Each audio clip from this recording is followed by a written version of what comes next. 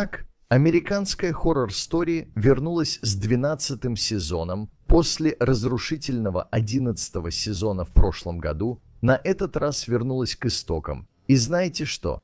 Первый эпизод не вызвал у меня трудностей. С темнотой, вопросами на каждом шагу, актером, играющим персонажа Нип, рассмотрим и разложим все, что можно выяснить из эпизода. Так что начнем. Американская хоррор-стори, 12 сезон, первая серия, разобрана. Важно знать, что в видео есть спойлеры.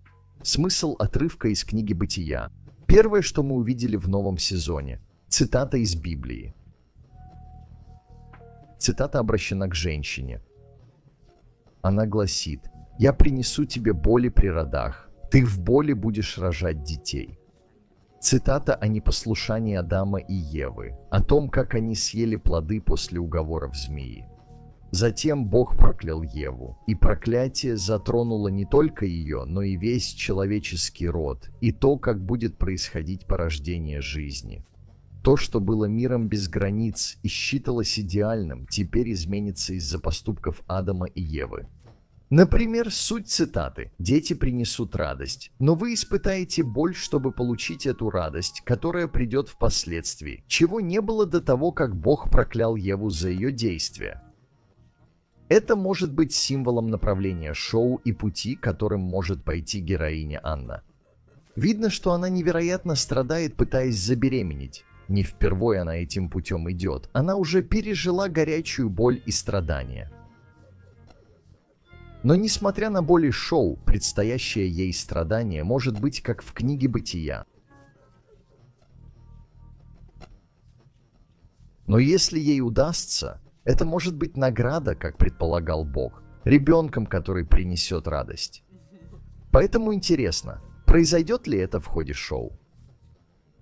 Символика шоу яйца, виды и капли.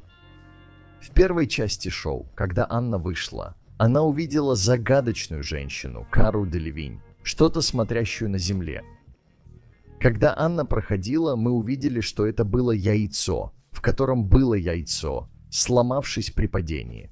Я думаю, что это связано с тем, что мы видели в эпизоде, и когда злоумышленник был в квартире Анны. Было видно, что у Анны происходит зачатие, и ей дали фото эмбриона. Но после разрушений дома видно, что фото, ее большой интерес и надежда на радостное будущее сломано напополам, почти как трещина на картинке, подобно разбитому яйцу в гнезде. Я думаю, что это может символизировать проблемы с ее будущим ребенком. Возможно, процесс зачатия не работает или что-то может случиться в течение беременности. Возможно, из-за ошибок. Заметка на зеркале указывает, что она не должна рожать ребенка. Сериал в этом сезоне будет сфокусирован на том, что мешает ей родить. Возможно, они видят в ребенке зло, в начальных титрах ребенок выглядит как демон. Она верит, что это монстр. Интересно, что виды в центре внимания в этом эпизоде. Виды символизируют многое. Паутина видов в библейском представлении – хрупкость. Мы видим вид на голове Анны. Она выдергивает волосы. Почти как искра из паутины видов может указывать на хрупкость в ее голове. Что значит, то, что мы видим, на самом деле не может произойти и происходит только в ее голове. В титрах было несколько интересных моментов. Был пес, которого мы видели дважды. Один раз он был нормален, второй раз казался мертвым. Считается, псы символизируют женскую фертильность. Поэтому видеть пса в ужасном состоянии, возможно, подчеркивает, что что-то не так с Анной и ребенком. Существует ли миссис Преподобник? Интересно, что в этом персонаже есть элементы, заставляющие вас верить, что она реальна, но есть и части, заставляющие сомневаться. Когда она вошла в клинику, ее узнали работники там. Также в сети появилась фотография Анны, сделанная ею в клинике. Но то, что она была в аудитории разговоров Анны, вызывает сомнения в ее существовании. Исчезла в мгновение ока, было видение, когда Анна была на обследовании. Я считаю, что она реальна, но Анна использует ее образ в собственном разуме. Видение Анны. Миссис-проповедник в красном платье, ассоциирующемся с сатанизмом. Отличие от врачей в комнате. Ее имя – проповедник. Возможно, проповедница чего-то мрачного. Я думаю, что в названии все отражено. Мы видели реального человека, но и версию, живущую в сознании Анны. Первый эпизод впечатлил. Сравнивая с одиннадцатым сезоном, это не провал. Прошлый весь был об эпидемии СПИДа в 80-х, иногда грустно смотрелось.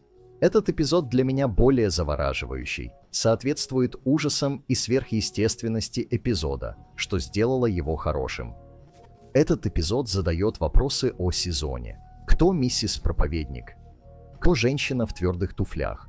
Какова важность Аделины? Не все ли это Анна придумывает, как и многое другое?